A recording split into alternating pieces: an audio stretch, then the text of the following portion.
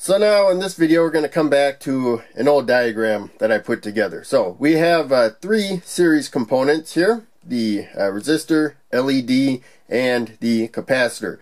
Uh, when the switch is open and when the switch is closed. Then we will have uh, the components split up the voltage. So uh, 7 volts will never be across any single component here.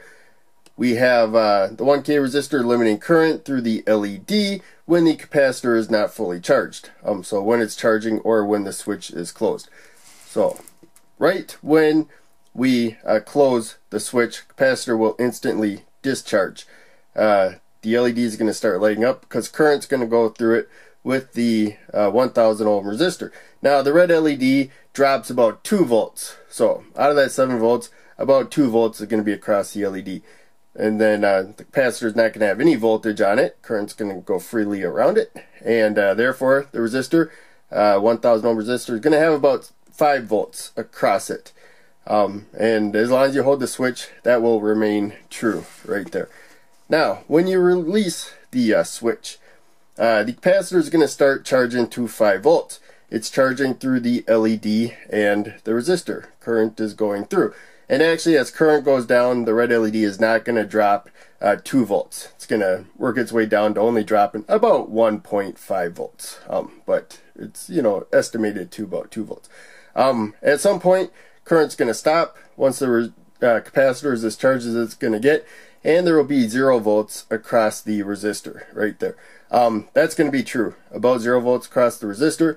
Uh, the red LED, it's going to be about 1.5 volts. Uh, so the capacitor is going to be about uh, 5.5 volts. Hopefully that makes sense. But the main takeaway is uh, we're just getting a little practice in the fact that uh, the supply voltage is uh, divided up amongst the components. It's not actually divided by the LED. It actually drops a certain amount of voltage. Um, changes slightly with how much current's going through it, um, but for the most part it drops a fairly reliable uh, voltage right there. Uh, capacitor, its voltage goes up as it charges, as uh, more current goes into it, and its voltage goes down as uh, there's less uh, current in it and um, less difference between the plates to be more uh, accurate. but there you can see, close the switch, there'll be zero volts across it. These two components will have 7 volts across them total. So now we're going to grab the multimeter and take a basic uh, look at this. Going to set it to uh, measure voltage. We don't have to move the red probe for anything but uh, high current. So there you can see we got 7 volts. We're not going to go anywhere near uh, 20 milliamps of current. Only about 5 milliamps of current when the uh, switch is pressed. Uh, but in case there you can see the voltage.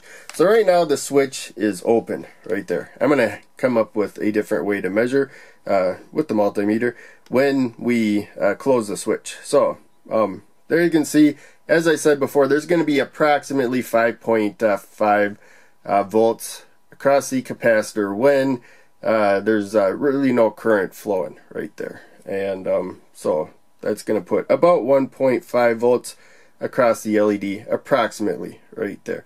And uh, current does, you know, kind of trickle through uh, at, uh, you know, very low voltages.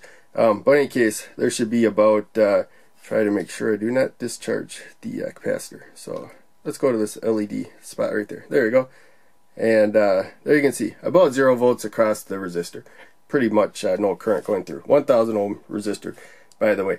And uh, I can, you know, uh, do the uh, capacitor right here while I press the switch. So I will do that. You'll notice right when I press the switch, because it's ground on that side, ground over there.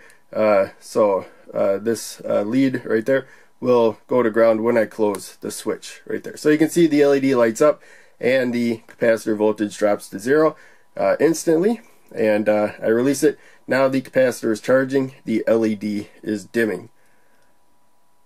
And now I got uh, these alligator clips clipped to the uh, probes, which I clamped to uh, these uh, breadboard wires uh, right there. So we're on both sides of the LED. And there you can see, you know, about 1.5 volts approximately. Again, current does kind of trickle through at uh, lower voltages and, you know, slowly charge the capacitor a little bit more. But, um, you know, we still have a built up voltage. And current's going to go through the meter now. So it's going to go quicker than if I didn't. But in case, there we go. Now I press the button. Now we have, you know, uh, probably about uh, 3 milliamp or 5 milliamps of current because we got 7 volts. The LED is dropping about 2 volts and that puts about 5 volts across the 1000 ohm resistor. So about 5 milliamps current. Um, but uh, there you can see, while I was holding it, we had about 2 volts across the LED, and now it's going down to uh, the voltage we said before. And uh, now we're going to measure the voltage across the uh, resistor. So we're coming up where the top lead, the anode of the LED is, the longer lead, but it also connects to the resistor. So as I said before, um, not pressing the button, the capacitor charges, and then there's no voltage difference across uh, the resistor right there. So I press the button and there you can see we have 5 volts across the resistor. We're just measuring the resistor right now and um, then I release the switch and it's going down right there. But as we can see the voltage are, we're adding up. We have you know just a little bit more than 5 volts there. Uh, just a little bit less than 2 right there for a total about 7 uh, when we get about 0 volts across the resistor as you can see there. And um, so if I move down one spot. So we're measuring the uh, LED and the resistor. Now you can see there's about 1.5. We already saw if I press the button, the capacitor goes to uh, 0 volts, so we got that. And now um, we got 7 volts right there across the uh, resistor and the LED. So it's adding up to the uh, total supply voltage because the total supply voltage is now across two uh, components. And uh, for a brief period of time, it's split up among the three. Um, but when we get uh, the capacitor fully charged, basically all the voltage is now across 2 again, right there.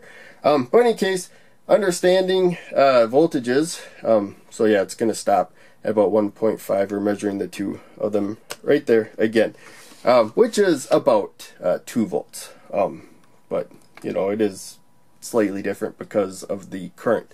So this is kind of ideal if uh, LEDs were kind of an ideal forward uh, voltage, it would always be 2 volts for the red one. It would always be 3 volts for the blue ones or green ones, but it does, you know, change a bit with uh, how much uh, current's going through them. Something you got to be aware of.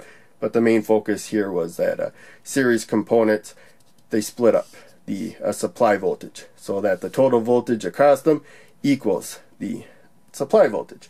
So, um, yeah, that's it for this video. Hope you enjoyed. Make sure you check out one of the other videos I'm posting on the screen and check out the links down below. They all help a lot. I'll see you in the next video.